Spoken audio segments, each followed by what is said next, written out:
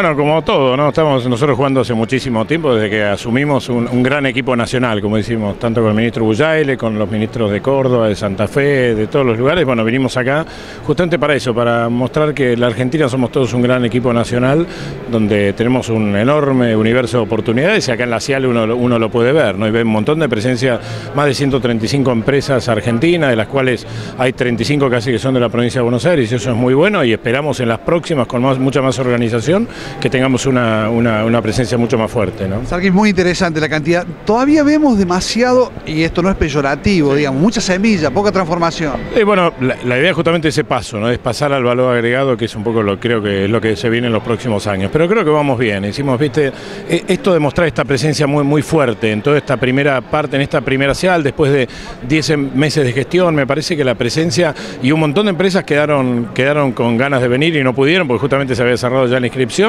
Pero me parece que eso marca un poco las posibilidades, ¿no? Y creo que tenemos un- unas posibilidades muy, muy buenas de estar con una gran presencia en el mundo y básicamente en la Unión Europea también, ¿no? ¿Qué tiene en la agenda el corto, mediano plazo? Este año difícil, duro, del debut.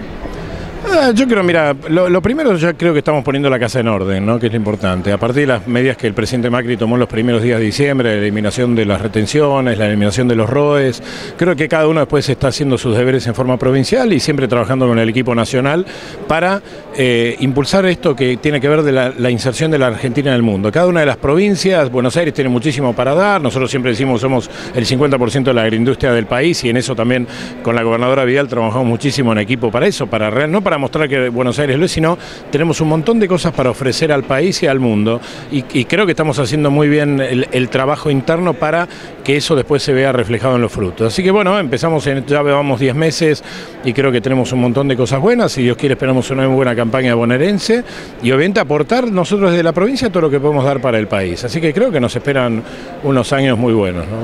Eh, ¿Qué tiene el corto plazo? Eh, la lechería está recomponiendo algunos precios por subsectores. ¿Qué eh, le está ocupando o preocupando más en el corto plazo? Yo te diría, nosotros estamos, nosotros, como bien vos dijiste, nosotros trabajamos en la provincia en, en seis regiones bien diferenciadas. ¿no? no es lo mismo hablar de lo que es el sur de la provincia de Buenos Aires, lo que es el norte, o no es lo mismo Pergamino Salto que lo que es Carmen de Patagones, por ejemplo. Entonces nosotros tenemos que dar soluciones y atender los requerimientos por región.